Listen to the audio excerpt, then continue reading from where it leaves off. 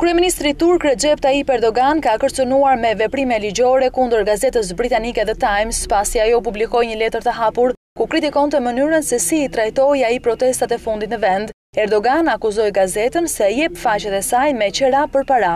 Personalitete Hollywoodi dhe akademikë kanë qenë mes atyre që kanë nënshkruar letrën këtë javë që akuzon qeverinë turke për sundim diktatorial. Një debat mbi një park në Stamboll muajin e kaluar shkaktoi protesta antiqeveritare në të gjithë vendin. Të paktën katër persona u vranë dhe mijëra të tjerë u plagosën, pasi policia u ndesh me demonstruesit, të cilët akuzuan Erdogan se po bëhej gjithnjë më shumë autoritar.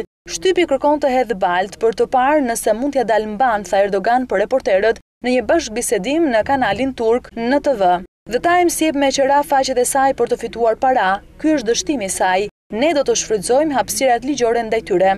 Erdogan tha se ata që kanë nënshkruar letrën e publikuar si një publicitet në faqe të plotë kanë dhënë me qera mendimet e tyre dhe nuk e kanë mbështetur me të vërtetë demokracinë. Nëse ata besojnë në të vërtetë në demokraci, ata nuk do të mund të shfaqin këtë mungesë karakteri për të quajtur një lider të një partie që fitoi pesëdhjetë për qind të votave popullore një diktator, tha kryeministri turk. Gazeta The Times nuk i është përgjigjur deri më tani deklaratave të kryeministrit Erdogan. Letra e hapur u nënshkrua nga tridhjetë persona, përfshirë pianistin turk Fazil Say, yjet e kinematografisë amerikane.